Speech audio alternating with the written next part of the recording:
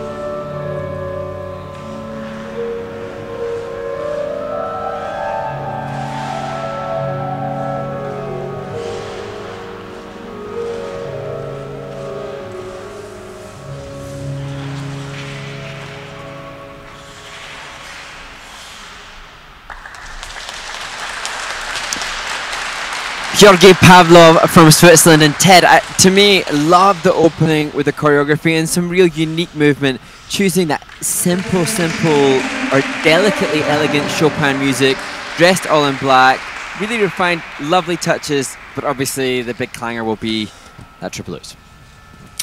Yeah, no, I like the approach as well. I think it was, and for this level of skater, I would do that is keep it simple, keep it clean in a single instrument helps you do that as he works his way through that triple Salchow, triple toe loop. And that was clean in the system as we take a look here at the inside edge, outside edge, triple lutz, but on a big lean in the air and couldn't hold that landing. Double axel. A little bit later, no problem. Certainly wants to work on the arms and the posture a little bit. Goes right into the change combination spin. That's in level four but with a minus GOE. So you can see the quality of that position and the speed and the traveling and the spin affected the quality, and therefore, even though he got the degree of difficulty, he loses on the quality. So, you know, which one you want to go? Look at the change of edge here, upright, and then to the forward outside. Mm. So that's unusual. You usually see that in the camel spin, maybe the sit spin, but not often in the upright. Great shots there, body movement, change of direction, followed by that rocker into the finish. Choreography by Maya Luther and Really like that. And interestingly, Ted, Georgi said that on his social media that after last season ended, he said he knew his main problems and will give the best with his team to fix them. And I think that's great when a skater can be mindful of where they're at and know what they need to work on and, and take it from there. That's the whole key. Because if you don't mm. know where you're at, and if you don't know what you need to work on, or you don't like to hear what you're supposed to work on because you'd rather jump, then you can't make progress. You have to understand the big picture, and this takes time and maturity, and it's harder for these younger skaters.